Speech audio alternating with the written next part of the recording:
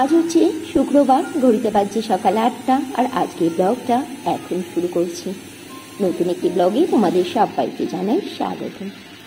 সকালবেলা উঠে পুজো সেরে চলে এসেছি রান্নাঘরে।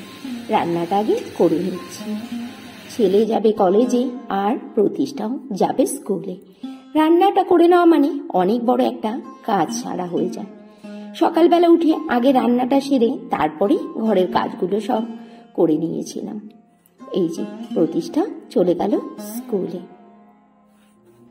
তাড়াতাড়ি করে ঘরের সব কাজকর্ম সেরে নিলাম আর এখন যাচ্ছি একটু ব্যাংকে। হ্যাঁ এখন তো আমাকে একাই পথ চলতে হবে ব্যাংকের কাজ করা শিখতে হবে। শিখতে তো আমাকে হবেই তাই না? অনেক বড় দায়িত্ব যে দিয়ে গেছে। আমি চলে এসেছি ব্যাংকে। জানো তো আমি না ব্যাংকের কাজ বা বাইরের কোনো কাজ একদম ভালো করে করতে পারি না। কিন্তু এখন আমাকে তো সব কাজ শিখতেই হবে, তাই না? ঘর বাইর সব কাজ একার হাতে সামলাতে হবে। ব্যাংকের কাজ সেরে বাড়িতে এসেছিলাম আড়াইটের সময়। আর আজকে রান্না করেছিলাম সোয়াবিন, আলু কচুর গাঠি সেদ্ধ, আর করেছিলাম পাঁপড় ভাজা। সকালবেলাতে তাড়াহুড়ো করে এর বেশি কিছুই করতে পারিনি। আর এখন ঘড়িতে প্রায় সাড়ে তিনটে বাজছে, প্রতিষ্ঠাও স্কুল থেকে চলে এসেছিল। তারপরে আবার ফেরত চলে এলাম সন্ধেবেলাতে, সন্ধেবেলার কাজকর্ম নিয়ে।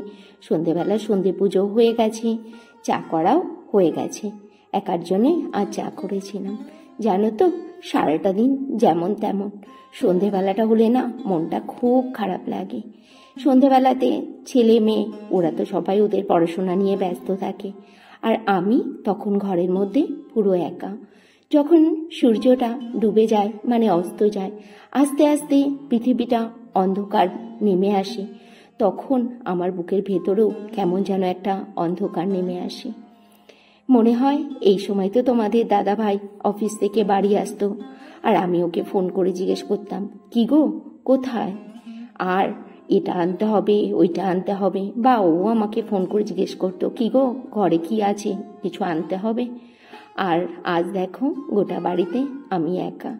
আর আজ আমাকে এই কথাটা জিজ্ঞেস করারও কেউ নেই। ও যে পড়ে আছে কয়েকশো মাইল দূরে সেই লখনৌতে। আর আমি পড়ে আছি পশ্চিমবঙ্গের একটি ছোট্ট শহর রানাঘাটে। মাঝে মাঝে মনে হয় পৃথিবীটা কত ছোট, যখন লুকানোর জায়গা খুঁজতে থাকি। আর যখন কাউকে খোঁজার থাকে, তখন মনে হয় পৃথিবীটা কত বড়। আজ বিকেলবেলা আকাশের দিকে তাকিয়ে অনেকক্ষণ কেঁদেছি আর মনে হয়েছে, এই আকাশেরই তো নিচে কোনো একটা শহরে ও রয়েছে আর আমিও রয়েছি। কিন্তু দেখো, কত দূরে না চাইলেও ওকে একবার ছুঁয়ে দেখতে পারছি না। খুব কষ্ট হচ্ছে জানো? জানি সময় সব কিছুর ওষুধ দিয়ে দেবে, আস্তে আস্তে এই কষ্টটা অনেকটা কমে যাবে। তবুও সাময়িক এই পরিস্থিতিটা সামলাতেই দিচ্ছে বড় কষ্ট হচ্ছে। নিজে যে বড় একাকিত্বে ভুগছি। সন্ধেবেলার সব কাজকর্মগুলো সেরে নিচ্ছি। ফ্রিজের খাবারটাও নিলাম বার করে। আর প্রতিষ্ঠাকে এখন দিয়ে দেবো খাবার খেতে। ও আবার চকসটা খেতে খুব ভালোবাসে। ওকে সন্ধ্যাবেলাতে বেশিরভাগ দিন চকস দিয়ে দিই বা হরলিক্স বিস্কিট বা কোনো দিন খুব বায়না করলে ম্যাগি। অনেক বড় দায়িত্ব চাপিয়ে গেছে আমার ওপরে। এত বড় একটা সংসারের দায়িত্ব ছেলে মেয়ের দায়িত্ব শ্বশুর শাশুড়ির দায়িত্ব। আমাকে যে দায়িত্বগুলো ভালো করে পালন করতেই হবে। মনে কষ্ট হলেও মুখে তো প্রকাশ করা যাবে না, তাই না? চলো, প্রতিষ্ঠাকে খাবারটা দিয়ে দিই। আর আজকের ব্লগটা এখানেই শেষ করছি। সবাই খুব ভালো থেকো, সুস্থ থেকো, সাবধানে থেকো। দেখা হবে আবার নতুন আরও একটি ব্লগ সঙ্গে করে নিই টাটা, গুড নাইট।